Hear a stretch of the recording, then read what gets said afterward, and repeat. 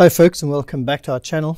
Um, what I want to uh, talk you through and show you this episode was um, uh, the difference between good quality cells that uh, meet their capacity and don't swell too much versus uh, some cells that we've been trying out, uh, just testing. From time to time we um, look at deals and we, we buy what look like uh, very good deals to see if they really are that good and see if the quality is actually up to scratch.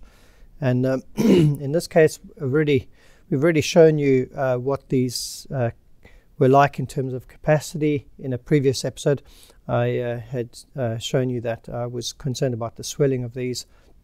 But what I wanted to do in this episode is actually take you through uh, some. These are through uh, 280 amp hour cells.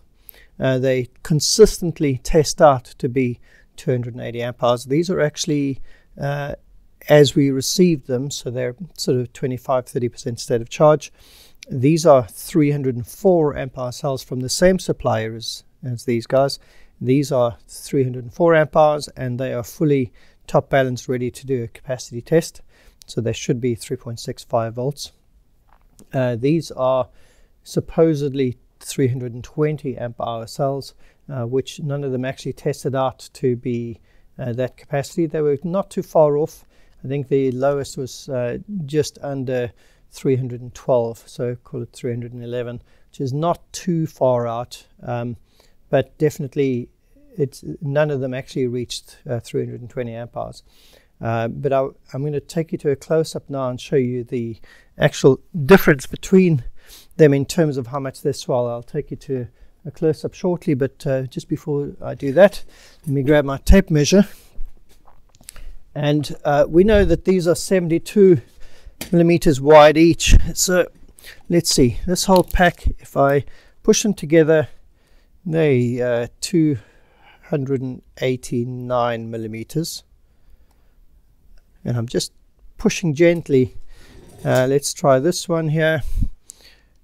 Interestingly, these are the same to 288, 289 uh, millimeters, which is what they are meant to be. Uh, these, uh, push them together as much as I can, and then pull them together on the top. Uh, they're just under 300, so I call it 299 millimeters. So quite a lot of uh, swelling in these ones here, but I'm going to bring you to a really close up of them so you can see. So these are the 280 amp hours, which when we uh, push them together, you see they're completely snug. There's no rocking. Um, you see a tiny gap between between these, uh, which is quite normal. Um, and they, as I said, they're 72 mils each, so 288, and the whole pack is actually 288, 289. So quite quite fine. So this is what you'd uh, expect out of good quality cells.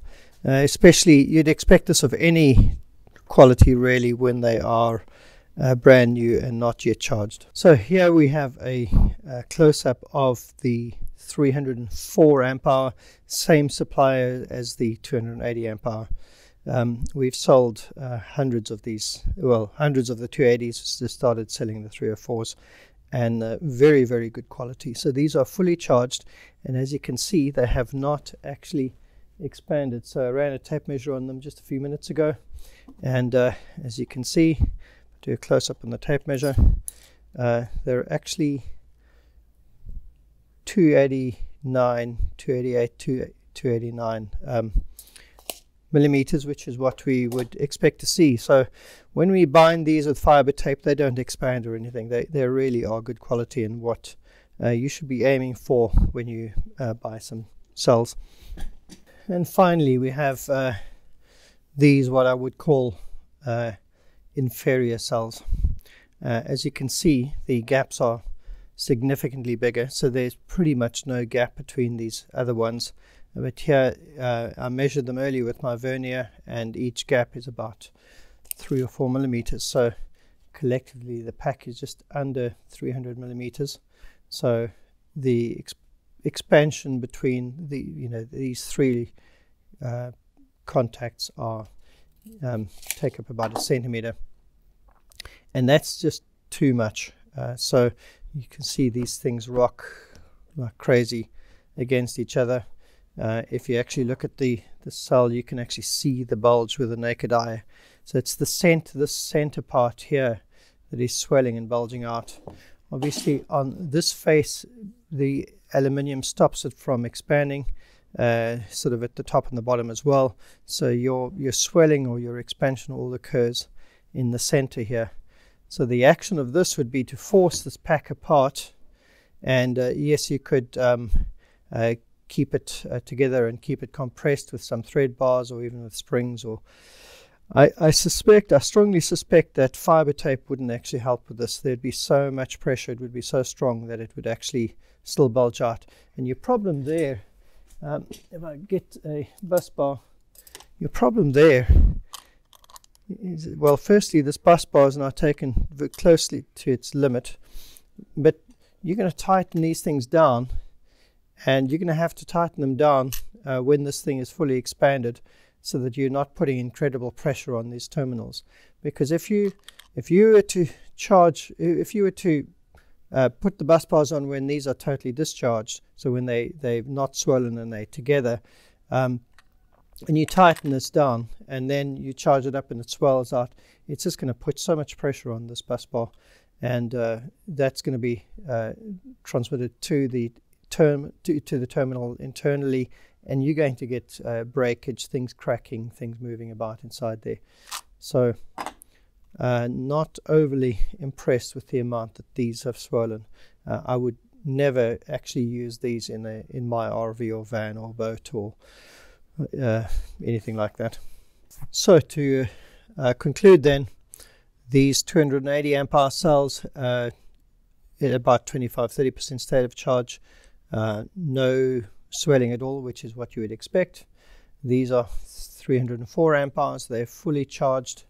Uh, they should be at 2.65 volts. I'm just going to verify that.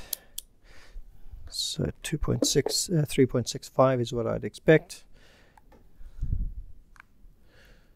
3.67, slightly up. 3.66, 3.67. 3.66, 3.67, and it's the same. Uh, these ones here, 3.65, 3.65, and they'll, they'll all be 3.65. So these ones here would be quite a bit lower at this stage. Uh, they are 3.28, 3.28, 3.28 and 3.28 so these are all identical. These are pretty much all identical top chart top balanced rather and uh, these are they're all the same but uh, quite bad swelling so the long and the short of it is that when you buy from an unknown supplier uh, to get a really good deal on AliExpress or Alibaba this is the kind of uh, risk that you take. So what can you do about it? Well you can put these into an enclosure, compress them. Uh, that could be probably with thread bars if you're doing a DIY battery, like one of the episodes where I showed you in detail how to build it out. Uh, the thread bar would uh, keep this together, but the fact that there is such a high degree of swelling uh, indicates, and and a lot of uh, people on the forums and uh, and various experts would agree, indicates that there is a potential problem uh, lack of quality in the set here. So yeah, we, we tested these out, not too bad in terms of capacity, but really due to the swelling, would not recommend them.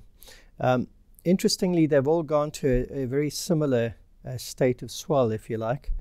Uh, but at one point in time, we we measured uh, one of them uh, got so swollen that, uh, that, there was literally a centimeter gap between the two cells, a very big gap. So these should really go back uh, to the seller, uh, whether we're going to battle or just keep them for experimenting and doing various things. I'm not sure what we're going to do with these cells. Can't put these into an RV, can't sell them. Uh, it just wouldn't work to sell them to anybody unless you were totally unscrupul- unscrupulous, which we aren't. So, thanks for watching, and uh, we'll be testing these capacities shortly and see how they turn out. I'm pretty sure they will all be uh, 304 amp hours or more.